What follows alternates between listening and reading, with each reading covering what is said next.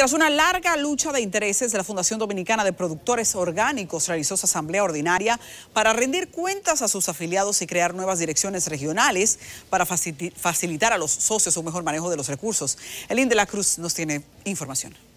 La Fundación de Productores Orgánicos fundó por realizó su veinteava asamblea ordinaria con la finalidad de rendirles cuentas a sus afiliados, así como también de descentralizar la organización con la creación de cuatro directivas regionales para brindarle a los socios y socias mayores oportunidades de disponer de los beneficios en favor de los productores. El evento de hoy consiste en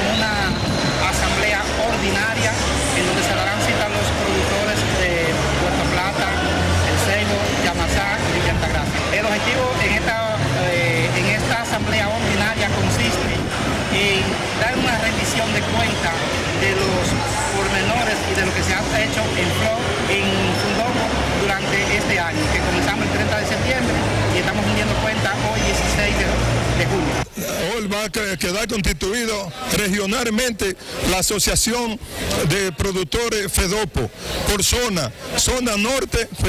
y zona este y zona sur. Sabe que tuvimos algunos inconvenientes, hoy se le va a explicar a, a los socios cuáles fueron los qué fue lo que pasó y también vamos a decir hasta dónde hemos podido llegar. Las autoridades de la fundación pidieron a los productores a practicar la honestidad con relación a los productos que producen para que cada día ganen más espacios de mercados de consumo de los productos orgánicos. Desde la provincia de Monteplata, Elín de la Cruz, CDN.